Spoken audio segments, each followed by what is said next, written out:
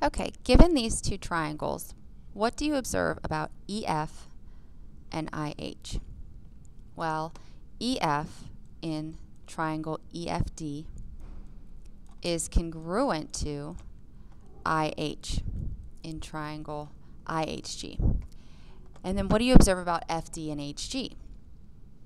Well, they put two congruency marks to show that FD is congruent to HG. And then ED and IG. Well, ED has a measure of 5 centimeters, and IG has a measure of 4.5 centimeters.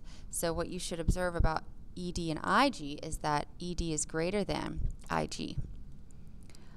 Well, the reason that's important is because if you notice that this side and this side is the same as this side and this side, but the angle, this is called the included angle, it's the angle in between the two sides, the angle 118 is greater than the angle 102. The hinge theorem says that if you have two sides congruent in two different triangles and the included angle measure is given, then you can determine the length of the opposite side, BC and GH, by the measure of the included angle. Okay, so if two sides in one triangle are congruent to two sides in another, so we have 1, 2, 1, 2, then the measure of the included angle, so the angle in between the two sides, determines the size of their opposite sides for both triangles. So what does that mean? Well, since we have our two congruent sides and we have an included angle, we're allowed to say that side BC compared to side GH, opposite that included angle, BC is going to be greater than side GH because angle A is greater than angle F. The converse of that basically says if you have two sides congruent in one triangle to another, that this angle opposite the non-included side can be determined by the non-included side. So if you have two sides in one triangle congruent to two sides in the other triangle, then the included angle, so L and R, comparison can be made by the opposite side's length. So JK is opposite angle L, and PQ is opposite angle R. And since JK is less than 8 is less than PQ, then angle L is less than angle R. Okay, so let's do a few example problems and see if you understand. I'm going to go ahead and do the first one and have you guys do the next. Number one, let's compare WX to XY. Well, this side WZ is congruent to this side ZW, and XZ in both triangles will be congruent because they're shared. XZ has to be congruent to XZ. So we'll mark those congruent. So that means WX is opposite the 51 xy is opposite the 55. So wx, because it's opposite the smaller angle, the smaller angle has a measure of 51, then wx is less than xy that has an opposite angle measure of 55. All right, you try number two and three on your own. Pause the video and see what you get. Okay, you should have gotten greater than for number two and less than for number three. If that's what you got, go ahead and move on. All right, so we have the shared side FC, so we know that FC in triangle BFC is congruent to FC in triangle FDC. So here's our side. Our included angle is here, and our side. Here's our side. Our included angle is here, and our side. So BFC, BFC is here. It is opposite the 3.6. And FCD, FCD is here it is opposite the 3. So because 3.6 is the bigger side, then angle BFC is greater than FCD.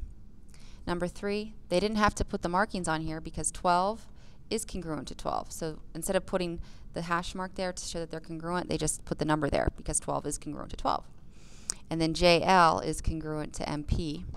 So here's our included angle 72 and here's our other one 61.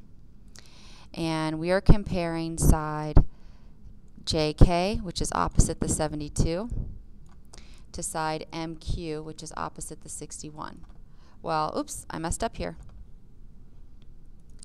So that means that JK is greater than MQ because 72 is greater than 61.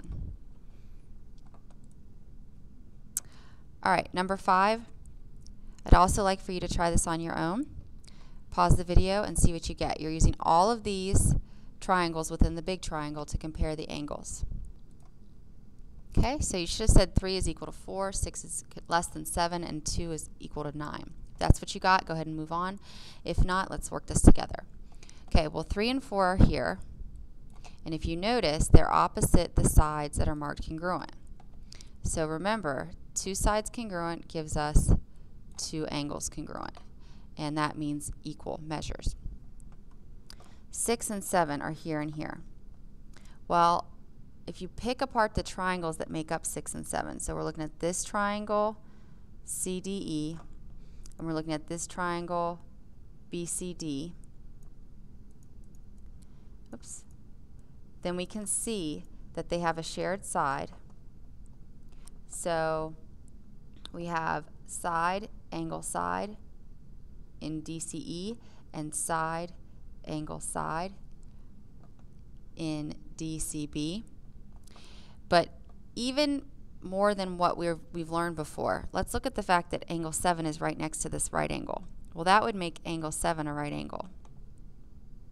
And if you look at angle 6, well, let's draw it out here. Okay, angle 6 is a remote interior angle, and angle 7 would be an exterior angle. So really, if you remember the theorem that the two remote interior have a sum equal to the exterior, it's clear that this sum equal to the exterior means that angle 6 has to be less than angle 7 if both of these combined make up angle 7, the exterior angle. And number, uh, well, I guess angle 2 and 9. Angle 2 is here, angle 9 is here. So this is the triangle we're looking at, CEB. And if you notice, this side is marked congruent to this side. So opposite sides of congruent sides, or opposite angles of congruent sides, are congruent. So angle 2 is congruent to angle 9, which means that their measures are equal. All right, when we want to apply algebra to relationships in triangles, you have to think about all the relationships that exist and set up your inequality for that. So the first step is to write an inequality that represents the relationship between the sides or the angles. So the measure of JHE, well JHE is here. Let's compare it to EHG. EHG is here. Well, we have a side and another side congruent. So we have a side angle side inequality theorem because we have side angle side here and side angle side here. And the side that is opposite the included angle in EHG is 9. And the side opposite the included angle in JHE is 11. So compare JHE, the 11, to EHG, the 9. We can see that because 11 is greater than 9, then angle JHE is greater than angle EHG. So now that we've set up our inequality, we're going to substitute the value for JHE. Well, JHE, the angle, is equal to 6x plus 15. So I substitute my 6x plus 15 for JHE. And then EHG, EHG is 65 degrees. So I substitute that value. And my inequality, we said that the angle JHE was greater than 65. All right, well, solving for an inequality, it's just solving like an equation, except you have a greater than sign. Your first step is to subtract 15 from both sides of the equation, or the inequality, sorry.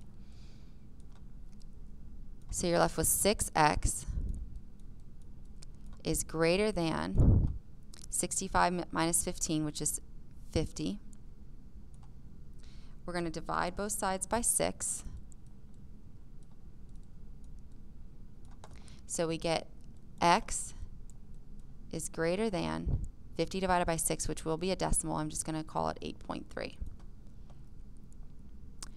So that's one step of finding your inequality. The second step is to consider other possible scenarios about the triangles. Well, we know because of the shared side hinge theorem that x has to be greater than 8.3. That's what this was. Now we have to write an inequality that represents other truths about the sides or the angles. So in this example, we know that in a triangle, one of the angles in a triangle, well, all of the angles, not one triangle angle can be greater than 180 degrees. This angle cannot equal 180 degrees. It has to at least be less than 180 degrees. So we also have to solve for the fact where the x is that angle JHE has to be less than 180 degrees. So we set up the inequality, measure of angle JHE is less than 180, and JHE was 6x plus 15. That has to be less than 180. So I'm going to subtract 15 from both sides of my equation.